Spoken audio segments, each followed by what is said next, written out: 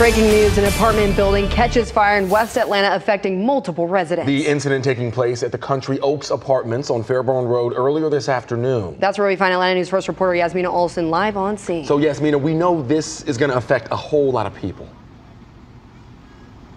Yeah, Alan, fire officials say at least 12 units were impacted by this fire. And families tell me they don't know what they're going to do now that they've lost everything. And you can see behind me that crews are still here wrapping up this scene even hours later. Several fire trucks responded here to this complex, the Country Oaks apartment complex in southwest Atlanta. We spoke with families who watched helplessly as firefighters battled the blaze. They say they rushed out of their units but had to leave everything behind. One mother telling me she got her two boys out but is devastated that they have to start over. I just moved here in March. Just moved out here.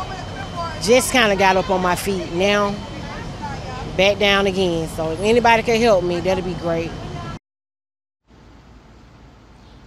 And the Red Cross will be coming to help these families after this fire. Atlanta officials confirmed that no one was hurt. They do tell us that they rescued four dogs out of the building, and the cause of the fire is still under investigation. We'll, of course, bring you any updates as we get them. Live in Southwest Atlanta, Yasmina Alston, Atlanta News First.